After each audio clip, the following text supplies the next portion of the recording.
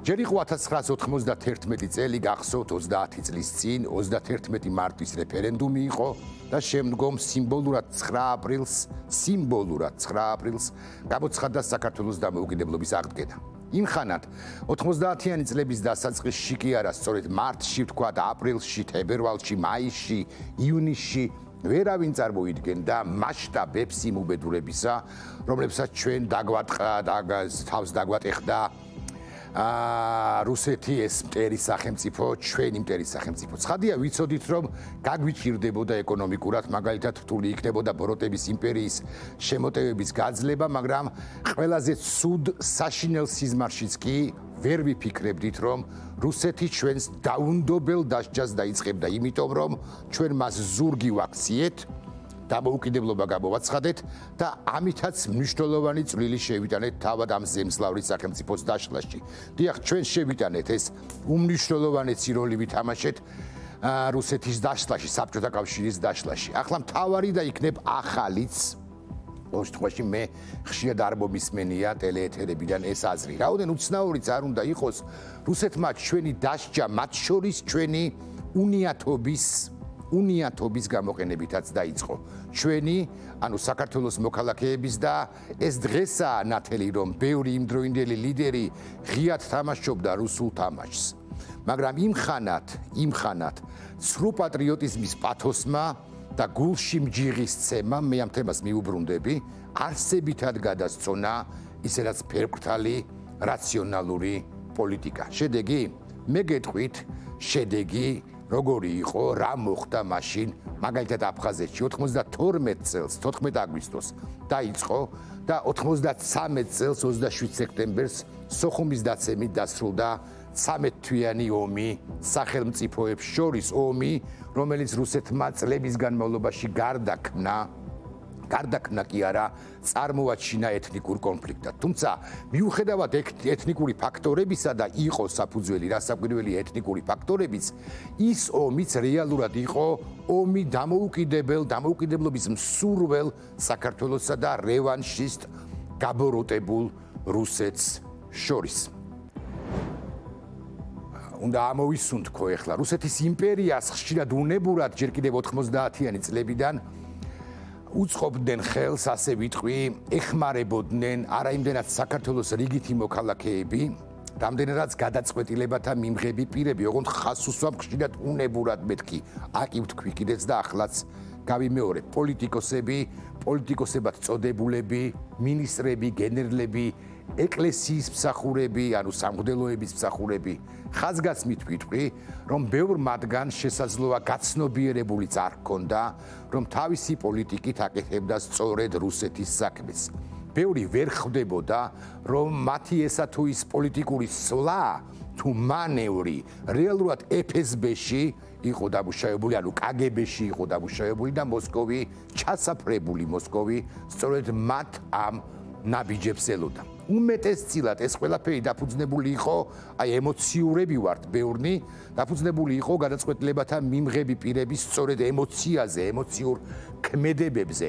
წავიდეთ და ჩამოვაგდოთ გამსახურდია, ვამბობდით მაშინ, ბევრი თქვენგანი ამბობდა, ბევრი ჩვენგანი ამბობდა, ამატებდა ესეც სიტყვას, ესეც წინადადებას, რომ გამსახურდი არის ჩაუშესკუ და ამიტომაც მოვუწოდებდით ერთმანეთს, რომ ჩამოგვეგდო პირველი პრეზიდენტი. წავიდეთ და ჯარით დავიცვათ ნამდვილად დასაცავი რკინიგზა ეს ხო საქართველოს რკინიგზა ვამბობდით ამასაც და მივდიოდით და ვიცავდით 90-იანი წლების დასაწყისში ამ რკინიგზას მის აფხაზეთის მონაკვეთს. პოლიტიკური ელიტა შევარდნაძის გამოკლებით 3, 4 და 7 ნაბიჯს კი არა ცხვირწინ, აი ცხვირწინ ერთ ნაბიჯსაც ვერ თვლიდა, ვერ ანგარიშობდა. შედეგად დაიწყო კამპანია, რომელიც ჩვენვე მოგვიტრიალდა და იცით ეს თქვენ ბუმერანგივით შევარდნაძის საკითხელ ნახსენები ეს სიტყვა, ოღონდ რუსეთთან მიმართებაში თუ არ ვწდები და არ ვწდები ნამდვილად და რუსეთმა ჩვენი ცხელი თავებისა და აფხაზი და ოსის სეპარატისტების დახმარებით საქართველოს აფხაზეთი და ცხინვალის რეგიონი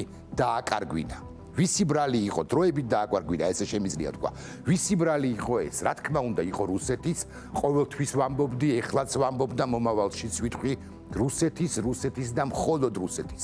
რა თქმა უნდა, რუსეთის კარნახით მოქმედი არძინბასი მაგალითად კოკოიტის უკვე შემდგომ პერიოდში თუ სეპარატისტთა სხვა ლიდერებისა, მაგრამ მაგრამ აი ეს არის ჩემი აზრით ახალი იმავდროულად მათიც ვინც ფიქრობდა რომ გარკვეული პრობლემების გადაწყვეტის ერთადერთი და უალტერნატივო გზა ჩვენში ფიქრობდა ამას იყო ძალისმიერი გზა. და ჰქონდა ილუზია რომ ჩვენს წინ მხოლოდ აფხაზები იდგნებოდნენ და იდგებოდნენ და არა რუსეთის რეგულარული არმია გრაჩოვი რუსეთის სპეცსამსახურები რუსეთიდან წარმოგზავნილი დაქირავებულები ბასაევები.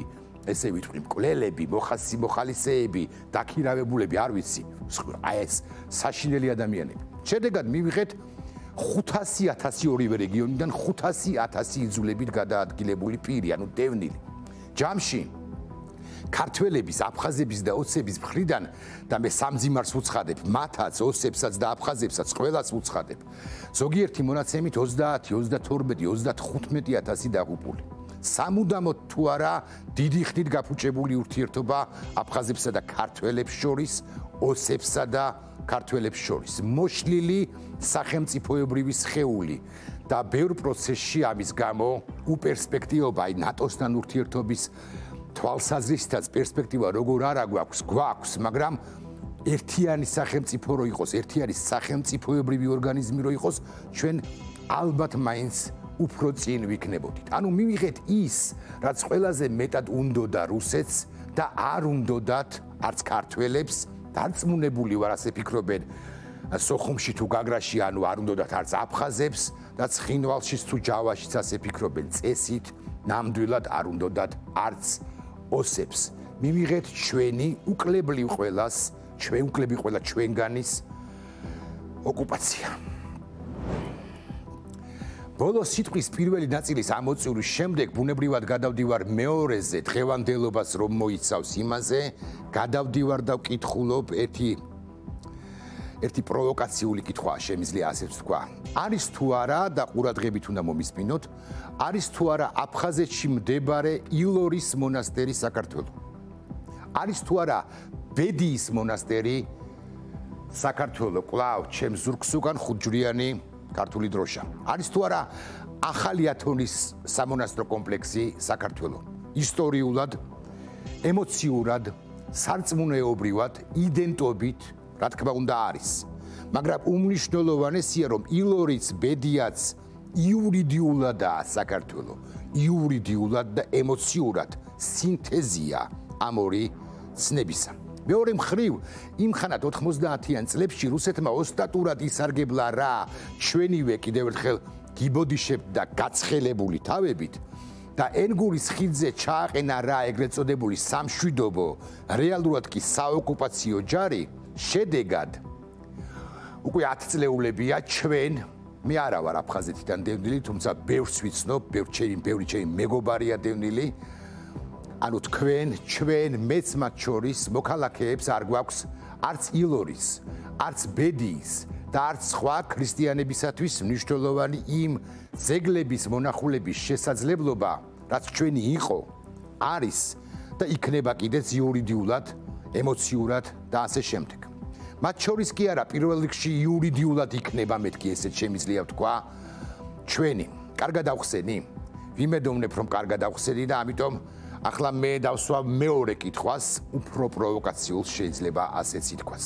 რომელმაც წალეკა ჩვენი სივრცე და მე თავად მეუპასუხებ ამ კითხვას თქვენის ნებართვით, არის თუ არა დავით გარეჯის სამონასტრო კომპლექსი საქართველოს ვერ დამასწრებთ პასუხს. დავით გარეჯის სამონასტრო კომპლექსი სრულად არის საქართველოს ისტორიული ძეგლი, ქრისტიანობის ერთ-ერთი მნიშვნელოვანი სიმბოლო, სიმბოლო იდენტობის ნაწილი, ჩვენი ემოცია, ისტორია, ჩვენი ფიქრიც და დარდიც. მეორე მხრივ, ჩვენ უნდა ვიცოდეთ, რომ ბოროტების იმპერია, რუსეთი გეგმავს მორიგ მზაკრობას ყველა იმ სახელმწიფოს წინააღმდეგ და ეს არის კონტექსტი ამ ყველაფრისა, ვისთანაც ეს მზაკრობები მას გაზდიოდა ადრე და იმედი აქვს რომ გაუვა ახლაც. რუსეთს და მის ლიდერს პუტინს, აგრეთვე იდეოლოგებს, კარგად აქვთ გააზრებული რომ მეტი რუსეთი რეგიონში, აი ყარაბაღში ხო შევიდა სამშვიდობო ჯარის სტატუსით მოკლედ მეტი რუსეთი რეგიონში დაასამარებს ამ რეგიონის ქვეყნების სუვერენიტეტს, დამოუკიდებლობას, თავისუფლებას, სახელმწიფოებრიობას და კონკრეტულად ჩვენი საქართველოს ევროატლანტიკურ მისწრაფებებს. ამ მიზნის მისაღწევად რუსეთი და მხოლოდ რუსეთი ცდილობს გარკვეული უთანხმოებებისა და შუღლის ჩამოგდებას ხალხებს, ჩამოგდებას ხალხებს სახელმწიფოებს შორის დაახლოებით ისე როგორც ჩამოვაგდო ჩვენთან, როდესაც შუღლი იყო, შუღლი ჩამოვარდა ჩვენსა და აფხაზებს შორის ჩვენ ღიად ვამბობთ რომ ეს იყო რუსული პროვოკაცია. როგორც ოდესღაც მოახერხა მან ან უგასული საუკუნის 90-იან წლებში გადაგვიდა აფხაზებთან, ოსებთან და ასე შემდეგ. ის ახლაც, ანუ რუსეთი ახლაც ცდილობს აზერბაიჯანსა და ვიქნებით ამამის საქართველოს შორის შუღლის უთანხმოების ჩამოგდებას. ამ სტრატეგიის განხორციელებისათვის მას ფორმალური მიზეზები სჭირდება. იმ შემთხვევაში გქონდა რაღაც რკინიგზა და ეს ფორმალური მიზეზი ამ შემთხვევაში დღეს და ახლა მისი აზრით ან რუსეთის მოსკოვის აზრით, პუტინის აზრით მოძებნილია. ეს ფორმალური მიზეზია ჩემს მიერ უკვე ხსენებული დავით გარეჯის მონასტერი, რომელიც ემოციურად კვლავ ვიმეორებ, სრულად იდენტობით, რაც საკვირველია არის და იქნება საქართველოს ისტორიული ძეგლი, ქრისტიანობის ერთ-ერთი უმნიშვნელოვანესი სიმბოლო. ამავე დროს, ამ მოსახვევებში, ამ ლაბირინთებში, საშიში არა იმდენად დავით არა იმდენად დავამსჯელობა სადგაიულის სახელმწიფო საზღვარი აი გიორგი მშვენიერაძე ძალიან კარგად ასაბუთებდა წინა გადაცემაში იმ кейს რომელიც ივერი მელაშუმთან დაკავშირებით არის შექმნილი. მოკლედ მნიშვნელოვანია ცხადია ვისაუბროთ სახელმწიფო საზღვარზე და ვისაუბროთ სახელმწიფო თემაზე სახელმწიფო საზღვარი სადგაიულის საქართველოსა და აზერბაიჯანს შორის. მაგრამ გულში მჯიღის მუდმივი ცემა, რომ დავით გარეჯის მონასტერი არის საქართველოს არის ძალზე საქართველოს ეს არის ძალზე საშიში, საფრთხილო მოსახვევი, აი ესე ბოდიში და ვინ ჩემი ფეხებია ალიევი, აი ამას რო ამბობენ ხოლმე სოციალურ ქსელებში ვერ დაუშტი რა საკვირველია, მაგრამ მეორეს მხრივ აკვირდებით და ვიცით რომ ბევრი სახელმწიფო სტრუქტურაში დასაქმებული პირია. ამგვარი ამგვარი გზავნილების გამავრცელებელი და გვაქვს ლეგიტიმური ეჭვი იმას ამის თაობაზე რომ სახელმწიფო სტრუქტურებით განან ამ პირების უკან, ამ ტროლების უკან. მე ორი ჯგუფი მაგალითად ავრცელებს ესეთ ინფორმაციას, კი არა ესეთ ანალიზებს, წინანადებებს, რომ აზერბაიჯანის ოკუპანტი არ არის აზერბაიჯანი ოკუპანტი, რუსეთია ოკუპანტი და მას ანუ აზერბაიჯანს სათანადო პასუხი უნდა გავცეთ. ამასაც ამბობენ სახელმწიფო პირები, ამა თუ სახელმწიფო უცხებაში დასაქმებულები. რომ თლიანად აზერბაიჯანი არც არაფერს წარმოადგენს და ვერავინ დაგვიშლის ჩვენ ამ ტერიტორიაზე ჩვენი იურისდიქციის განხორციელებას. ეს კვლავ ვიმეორებ არის საშიში მოსახვევები და ლაბირინთები. წარსული გამოცდილებიდან გამომდინარე. აი ხო ვახსენე აფხაზეთი, როცა რუსეთმა მოახერხა ჩვენი პროვოცირება. ეს საშიში მოსახვევია საქართველოსთვის და გაგახსენებთ აფხაზეთში, რომელსაც დროებით ჩვენ ვერ ვაკონტროლებთ. აფხაზეთში მდებარე ილორის მონასტერიც ასაკვირველია საქართველოა ემოციურად ბედიის მონასტერიც არის. ემოციურად სარწმუნოებრივად იურიდიულად საქართველო. მაგრამ აფხაზეთშია და ჩვენ უბრალოდ ვერ ვერ ვახერხებთ. იქ ჩასვლას უბრალოდ ჩვენ რუსეთის აგრესიის გამო ვერ ვახერხებთ.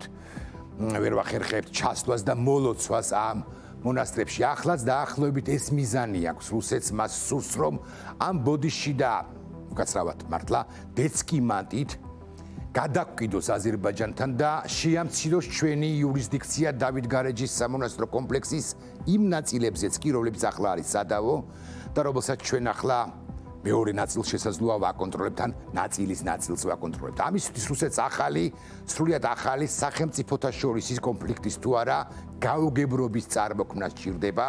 სწორედ ამ შედეგის მისაღწევად ამ ქვეყნებში რუსეთი ატარებს ჰიბრიდულ ოპერაციებს, რუსეთი ეხდობა ძალებს და პირებს, რომლებიც ნებსით თუ უნებლიეთ საკუთარი აგრესიული რიტორიკით და გულში მუდმივად მჯიღის ცემით აზერბაიჯანთან ყოველდღე ზაბავენ ურთიერთობას. და ეს ძალები ყველაზე ხშირად არიან, არ გაიკვიროთ ახლა, თუ ვიტყვი რომ სახელისუფლო ძალები, მათ შორის უმაღლესი თანამდებობის პირები. თუ ესოდენ სერიოზული აგრესიული რიტორიკა და ანტისახელმწიფოებრივი ქმედებები გაგრძელდა, ჩემი ვარაუდით გამორიცხული არც ის იქნება, არ იქნება უფრო ზუსტად ახალი ესკალაციაც, აი, საზღვარზე. შედეგად გარწმუნებთ რუსეთის FSB-ს შემდეგი ნაბიჯი იქნება ჩაწყობა ისეთი ვითარებისა, როცა ის რუსეთი მეზობლებს ანუ აზერბაიჯანსა და საქართველოს საკუთარ სამშვიდობო, ანუ საოკუპაციო ჯარის ჩაყენებას შესთავაზებს. და გიბოდიშებთ, უკან მოგრჩება მერე დავით გარეჯის მონასტერი სამხობის შემთხვევაში ცხადია და კიდევ ბევრი სხვა პრობლემაც.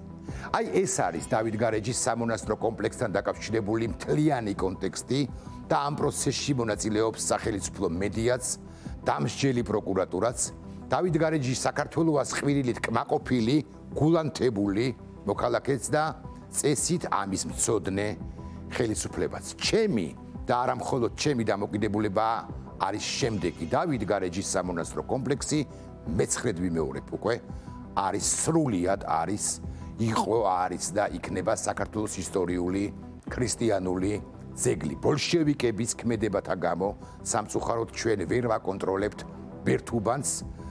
სადაო და სამსჯელოა ჩიჩხიტურისა და უდაბნოს მონასტერის კონტროლის საკითხი. ოღონდ სამსჯელოა რაციონალურად მშვიდად და არა ისტერიკით ყვირილით რომ რუსეთს ვითარების გადაძაბვის, დაძაბვის და გადაძაბვის შესაძლებლობა მოესწოს, რასაც რაც უნდა რეალურად რუსეთს.